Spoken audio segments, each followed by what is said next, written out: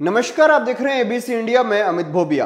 दोस्तों, आज हम बात करेंगे पिस्ता की खेती के बारे में। पिस्ता की खेती के बारे में कई लोगों के सवाल आए हुए थे तो आप लोग भी कमेंट सेक्शन में जिस भी खेती के बारे में जानना चाहते हैं, पूछ सकते हैं और इसी के साथ साथ इंस्टाग्राम पर मुझे मैसेज करके भी पूछ सकते हैं। इंस्टाग्राम का लिंक डिस्क्रिप्शन में दिया गया है। तो दोस्तों, हम पिस्ता की खेती के बारे में बातचीत शुरू करें। इससे पहले आप लोग चैनल को सब्सक्राइब कर लीजिए, बेल आइकन को दबा लीजिए और ऑल के ऊपर क्लिक कर लीजिए। तो दोस्तों, सबसे पहले आपको बता देते हैं पिस्ता की किस्में। जैसे Iranian jumbo Iranian round Iranian long और भी कई प्रकार की किस्में होती हैं, लेकिन ईरान ही ज़्यादा फ़ेमस है, क्योंकि पहले ईरान के अंदर सबसे ज़्यादा प्रोडक्शन होता था और अब होता है अमेरिका के अंदर पिस्ता का सबसे ज़्यादा प्रोडक्शन अब बात करते हैं कि पिस्ते का पौधा तैयार कैसे किया जाता है। तो आपको बता दूँ, जो पिस्ता आप खाते हैं, इससे पौधा तैयार नहीं होने वाला है। आपको जो किस्में मैंने बताई, उन किस्मों के पौधे लेने होंगे, ग्राफ्टेड प्लांट जो है, वो लेने होंगे। और इसमें एक बात का ध्यान रखना है, दस मादा प्लांट होंगे, एक नर प्लांट होगा।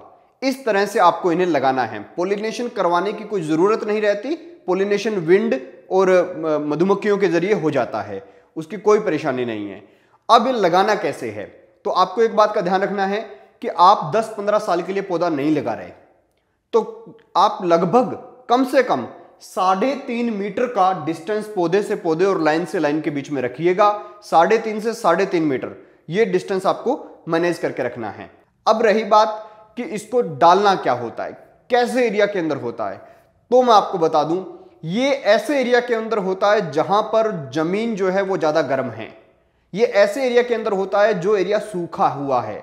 और ये ऐसे एरिया के अंदर होता है जहाँ पर बहुत ठंड पड़ती है।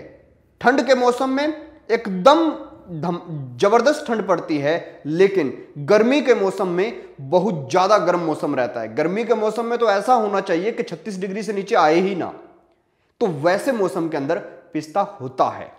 एक बात का ध्यान आप रखें कि इस पौधे को ड्रिप सिस्टम से ही पानी देना है। लेकिन ड्रिप सिस्टम इसके बिल्कुल नज़दीक नहीं होना चाहिए। इससे लगभग जहाँ पर पौधा लगा हुआ है, उससे डेढ़ फुट दूर आपको आधे फिट का गड्ढा खोदना है और वहाँ पर पानी देना है। इसके पास पानी नहीं रुकना चाहिए।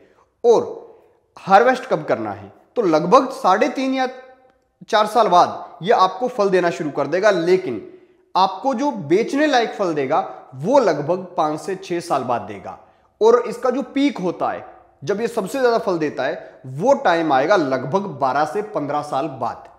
और हाँ, एक चीज़ और ध्यान रहे, जब आप इसे हार्वेस्ट करेंगे, तब आपको इसे तोड़ना नहीं है, इसे झाड़ना है, इस पौधे को हिलाना है।